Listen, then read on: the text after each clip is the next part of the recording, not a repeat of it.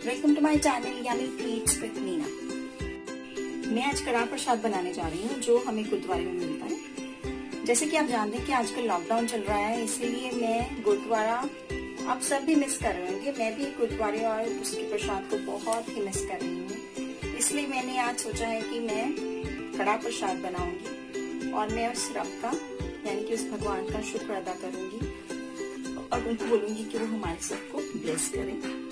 आइए अब हम इसके इंग्रेडिएंट्स जान लेते हैं? इसके लिए हमें सबसे पहले चाहिए हम आटा, चीनी और देसी घी। जी हाँ ये देसी घी में ही बनता है। हम इन तीनों की क्वांटिटी जो है वो सेम लेंगे। मैंने यहाँ पर आधा कटोरी आटा लिया है।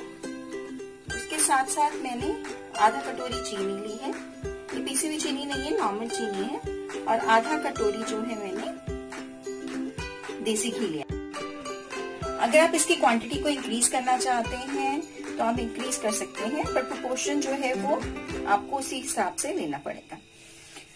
इसके लिए जो हम पानी इस्तेमाल करेंगे चाशनी बनाने के लिए चाशनी तो नहीं हम सिर्फ़ उसको आ, पानी के अंदर सिर्फ़ चीनी को बॉईल करेंगे।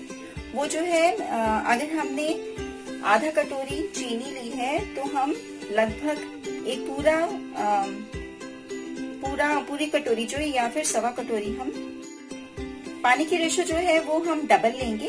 डबल से थोड़ा सा ज़्यादा जो है हम इस्तेमाल कर सकते हैं। तो आइए सबसे पहले हम क्या करेंगे कि हम गैस चलाएँगे और ये देखिए मैंने एक पतीला ले लिया है। इसके अंदर मैं पानी डालूँगी।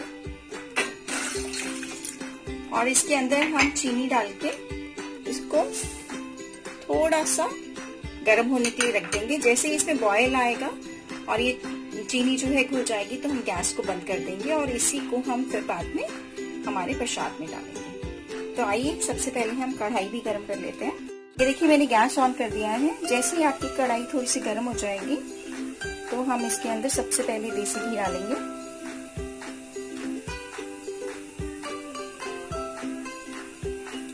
जब हमारे घर में कभी पाठ होता था और बाबा जी आके प्रसाद बनाते थे तो मैं हमेशा उनसे पूछती थी कि गुरुद्वारे का प्रसाद इतना टेस्टी क्यों होता है? तो वो कहते थे कि जब हम प्रसाद बनाते हैं तो हम बानी पढ़ते हैं। यानी कि हम रब का नाम लेते हैं, भगवान का नाम लेते हैं। जब हम इसको, कच्छी को चलाते हैं तो हम किसी और का ध्यान नहीं करते हैं। हम सिर्फ़ अपने भगवान का ध्यान करते हैं।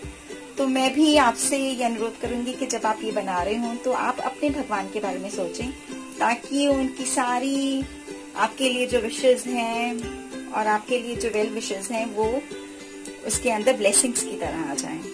तो देखिए, जैसे ही हमारा ये गर्म हो जाएगा तो हम इसके अंदर हमारा आटा डालेंगे।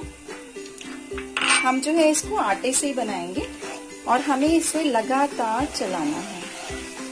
इसके अंदर कोई भी लम्ब्स जो है, वो फॉर्म नहीं होने चाहिए। अगर आपको लगेगा कि आपका घी थोड़ा सा कम है तो आप और भी ले सकते हैं। तो मुझे लग रहा है कि मेरे को क्वांटिटी जो है, वो ठीक है। देखिए, हम इसको लगातार चलाएँगे।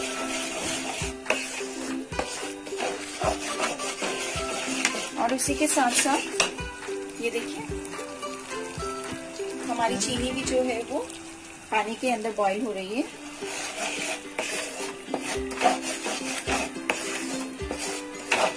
ये दोनों चीज़ें हम साइमल्टेनियसली कर लेंगे तो चीज़ें थोड़ी सी आसान हो जाती हैं और हम जल्दी से इसको पूरा कर पाते हैं।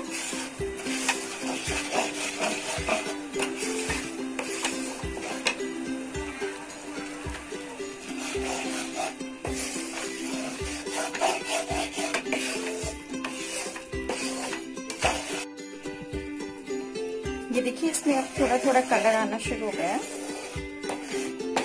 ये थोड़ा सा गोल्डन सा हो जाएगा। और हमारा आटा जो है वो इसमें अच्छी तरह से पीस जाएगा। एकदम ऐसा वाटरी सा ही होगा। आप चाहिए तो बीच बीच में थोड़ा सा गैस को मीडियम या तेज भी कर सकते हैं, पर आप इसको चलाते रहें तो फिर ये नीचे बिल्कुल भी नहीं लगेगा देखिए, ये देखिए, काफ़ी अच्छा ब्राउन हो गया अब मैंने गैस को थोड़ी देर के लिए बंद कर दिया है। और और अब हम इसके अंदर हमारा पानी जो है वो डालेंगे। अब बहुत ही ध्यान से डालिएगा बिकॉज़ एकदम से छींटे पड़ने का चांसेस रह जाते हैं। क्योंकि ये बहुत ही ज़्यादा हॉट है। देखिए इस तरह से हम इसके अंदर हमारा जो पूरा पानी है। वो डाल देंगे। और हम इसको एकदम से चलाएँगे। और गैस को भी आप जो है वो ऑन कर दीजिए इस टाइम पे।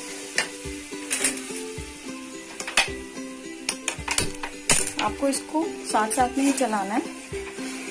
और गैस को आहिस्ता रखना है। ताकि इसके अंदर कोई भी लम्स नहीं पड़े। देखिए, ये सारा पानी जो है ये सोख लेगा। ये देखिए, कितनी अच्छी कंसिस्टेंसी आ गई है। आहिस्ता आहिस्ता ये जो है, थोड़ा सा कढ़ाई से छूटना शुरू हो जाएगा। और इसका तेल जो है वो वो भी छूट जाएगा, घी छूट जाएगा इसका। ये देखिए, इसने कढ़ाई को एकदम छोड़ दिया है। यानी कि हमारा प्रसाद जो है वो रेडी है। आप चाहें तो इसको थोड़ा सा और गाढ़ा कर सकते हैं। पर जो हम गुरुद्वारे में प्रसाद खाते हैं, वो थोड़ा सा ऐसा ही होता है। इसलिए अब मैं इसकी प्लेटिंग करूँगी ये देखिए, मैंने इसकी प्लेटिंग कर दी है। क्योंकि प्रसाद है तो मैं इसकी प्लेटिंग एकदम सिंपल ही रखूँगी। आप इसको एंजॉय कर सकते हैं, और मैं चाहती हूँ कि भगवान इस लॉकडाउन में हम सबको इतनी शक्ति दे, और हमें इतनी ब्लेसिंग्स दे कि हम इस मुश्किल वक्त से आसानी से निकल सकें।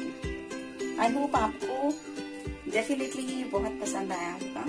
तो आप प्लीज़ मेरे चैनल को ज़रूर सब्सक्राइब करें और उसको शेयर भी ज़रूर करें। और बाबा जी आपको हमेशा ब्लेस करें। Thank you